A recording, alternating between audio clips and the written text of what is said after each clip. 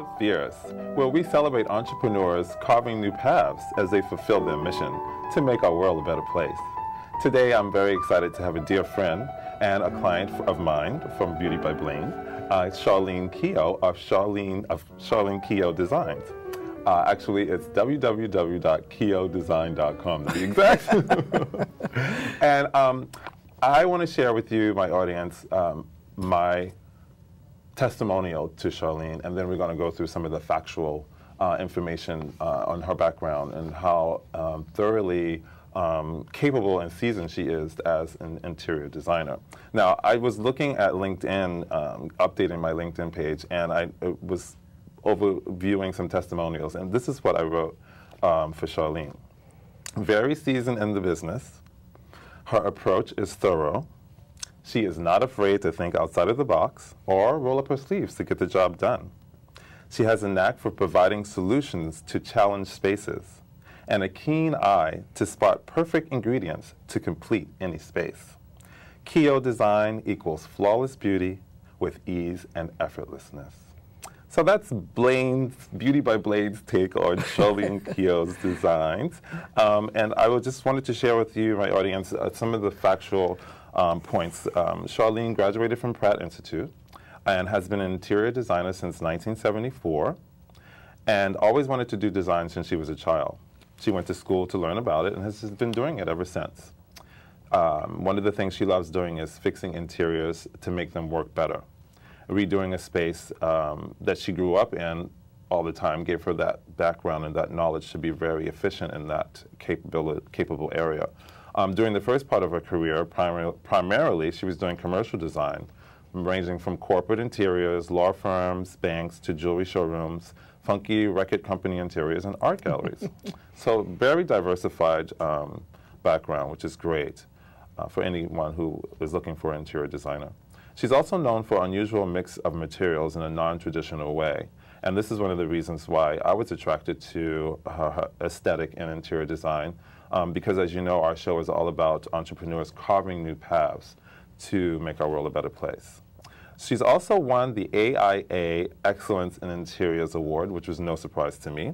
and she's been published in Dwell Magazine, Interior Design Magazine, Design Times Magazine, and Leisure Homes. Now, her work has also been featured in several books. One of the most recent is Asian Influence, Architect and Design. If we can get a, can we get a close-up on that? That's amazing. And, and the, the, um, the spread in that was just so beautiful. It was really clean and minimal, which I love, and um, very open and spacious. And when you look at it, it looks like, you know, she just came in and just did it. Like, you know, you don't see where the challenges were. It's just seamless, and it's seamless beauty is what I refer to it as. Um, she started her own firm in 1988 after leaving the corporate world and decided to concentrate on residential interiors. And there was a very creative opportunity which allowed her for a closer interaction with her clients. She not only creates the interiors, but does furniture and product design as well. So without further ado, I would like to introduce you to Charlene Keogh. Welcome, Charlene. Thank you. It's so good to be yes. here.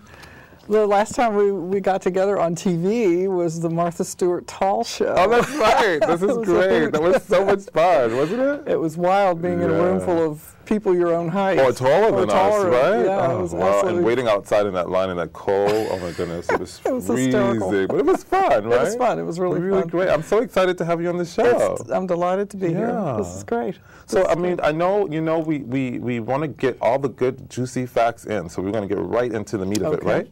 Um, the first thing I'd like for you to share with my audience is a little bit about your design philosophy because I think that that's really something that makes you special and kind of like, you know what I mean, like separate from the masses?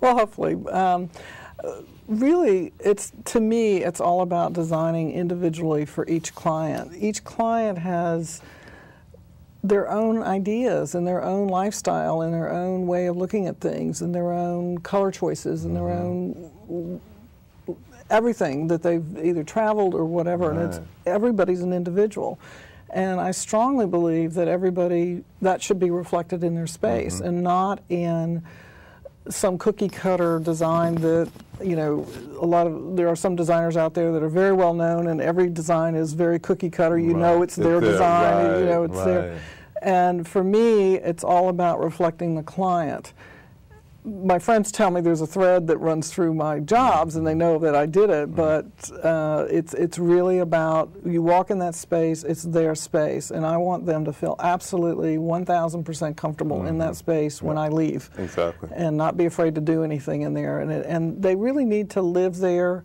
They need to enjoy it. Their home needs to be their refuge. Yes. And um, it needs to energize them. So Mm-hmm. when they come home, they can just sort of shut out the, the, the world and say, okay, I'm home, I can relax and, and, and, Right. and be here. It's interesting because you you and I we're so synergistic, and even when I'm working with you, as far as like wardrobe and image and things like that, our philosophies synergize because, like as a design consultant, you know, I get called a lot of times to go into a space because. The person, first of all, didn't realize the importance of hiring an interior Right, decorator. right. So they just tried to do it themselves and you know put paint the walls and put in some furniture. Right. And then, then that, they're not wanting to stay home. They're always out, or they feel drained when they get home and they have a hard time leaving the house. Exactly. So I, I, I really, it's exciting for me to meet you, you know, and to be able to refer you because a lot of times we could avoid all that, That, we exactly. do if we do it right the first time. That's right. And a lot of people, I have some clients that come to me and they've started the process and then they get stuck and they don't know what to do. And it's really about creating a balance in that room through the architecture and the, the interiors and, and the shapes and forms and the colors and the texture and objects and, and everything. And if it's not balanced, you don't quite know why, why it's throwing you Right. off, but it is, you know, and then you, you're, you're just not quite settled in your place. And when it is balanced, you just come in and you just go, ah, you know, and relax. That's, And when you know you've arrived, when you can come in your Absolutely. home and do. Absolutely. yeah, exactly.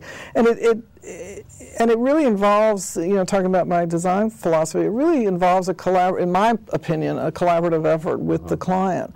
Um, and, and they may get heavily involved or not as involved, but it, you can't just go in and create something for someone without them being involved in it. And Do you it- work with um, consultants? Because I know, like sometimes um, with my clients, they'll hire an interior decorator, Mm-hmm. but they'll have me there as a consultant, sort of like to to verbalize what it is that they can't verbalize. You do? No, actually, I don't. Um, Wow, okay. What I do is I go through a whole programming process. Okay. And every client, everybody has a definition of a term. And let's say I say modern, they say Oh, modern. okay. What does that mean to them? I don't care what it means to me. I, I need to know what it means to them. Right. And I give them like homework, and I say, go and pull up images out of the shelter magazines or ah. out of now my website or wherever, and use that to tell me what your term means. If mm-hmm. you're traditional, what does that mean to you?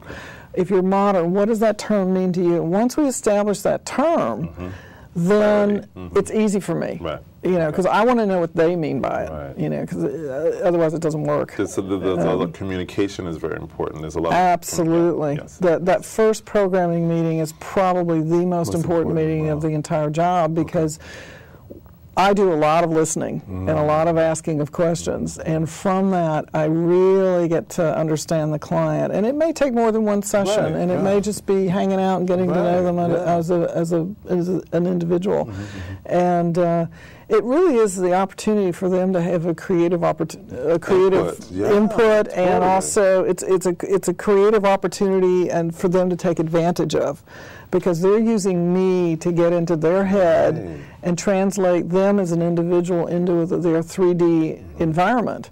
And, I so, think that already that attracts me to your philosophy more than someone coming in with this name that's going to do the place up the way they think it should look, and then you're supposed to be, oh, okay, um, so and so did my apartment or my house. I mean, it's like you're living in someone else's exactly space. right. It should be your space and it should reflect you. Absolutely. That is my philosophy. Period. End a sentence. I love it. You, you got it in one sentence. I love it. It's amazing. Okay, audience, you heard that, right?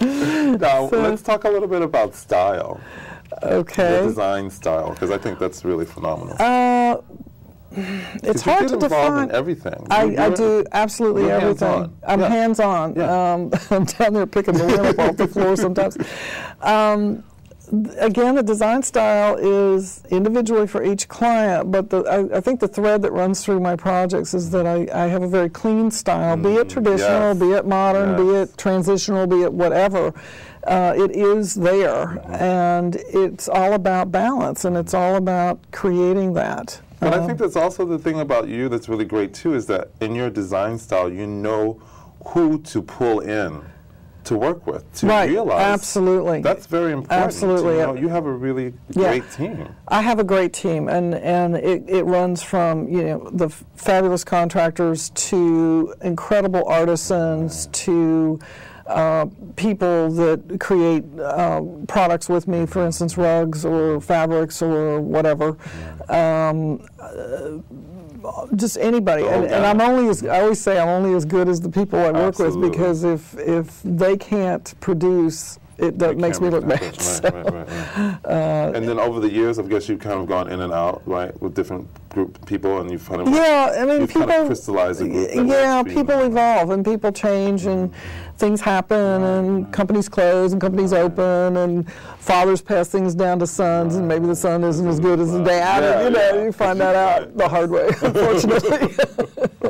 Well, we're talking about challenges. Like, what are some of the challenges that you had to, you were up against it, you kind of like, well, obviously you've overcome them, but it's Right. good for our audience to know that also because, like, my main mission for this show is, of course, to encourage people to go for their dreams, right? And to really um, take those entrepreneurial endeavors off the shelf, dust them off, and go for them. So it's important for our audience to know okay, yes, there are challenges, but did that stop you? No. And how did you deal with it? Every day is a challenge. Thank you. Yes. it's a challenge getting a project done. It- it- design should be fun. Mm-hmm. People should have fun doing their interiors. It, it, it's handling huge amounts of people to get a project done. Right. There's so many people involved to, to pull that team together to come in and, and make it happen. If one person messes up, it throws the So whole thing off. Right. So it's a challenge just to get the job done. Mm-hmm. exactly. And uh, it's a challenge to make sure that it gets done on time, Mm-hmm.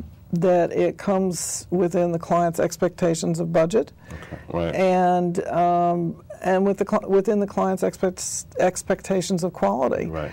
And I'm a stickler for quality, and I'm a stickler Mm-hmm. for on time, and I'm a stickler for budget. So, if any one of those things is affected, It throws it is- off, it yeah. throws it off. And uh, you know, but I'll I'll hang in there till the bitter end. To you, I can testify to that. I'll be down there picking lint up off the floor Yeah. and tweaking a corner and scraping it. You know, if the cleaning people even didn't get, Get something right, off the floor, I'm in exactly. there with a straight edge straight edge razor getting it off the floor. exactly.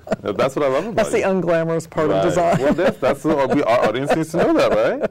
The other thing I wanted to, to um, share with the audience is, you know, um, being able to adapt to the times. And we Right. had this conversation when the whole Wall Street fiasco happened, and Right. like, you know, how do we keep ourselves active in what we love to do? Right. And of course, you know, I came up with the wardrobe makeovers Right. and, and working with the wardrobe that you already have and recreating looks. which was great. by the way. Right, and, and and you you does great work.